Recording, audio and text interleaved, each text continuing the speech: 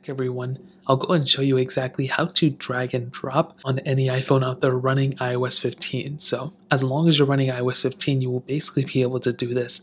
So what you want to do is go into any app that supports drag and drop. And this is system wide. So we can essentially go make our way over to Safari, for example, not this specific case we'll just go and make our way over to apple.com and what we'll be able to see is I guess I'm still on a FaceTime call and what you'll be able to do is essentially find any specific image, text, whatever you want that you want to drag and drop. So essentially let's just say we want to drag and drop this.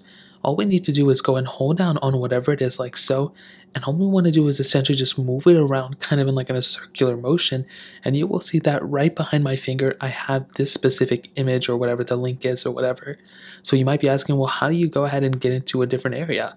Well, what you can actually do is use the same hand or use your second finger, whatever. It's so in a just so it like necessary. This should give us split screen multitasking, but we can do is swipe up, and essentially we're still dragging and dropping whatever. So if you want to open up another note tab and make a new note, all you have to do is go and click here, click here, and then you can drag whatever we just did inside of this specific text box, and you will see we just dragged and dropped it. Now we can essentially do the same thing but in reverse. We can drag and drop this, whatever it is, and paste it wherever we want to. So if we want to drop it here, we have that capability. So that's essentially how you do it. You just hold down whatever it is, drag it around a little bit, and you'll be able to drag and drop it. So it works for text as well. So if I drag and drop this, hold it down properly, it'll go like this, hold it down, and essentially you'll be able to drag and drop the text as well. So that's essentially how you do it. If you guys have any other questions or anything, let me know in the comment section below.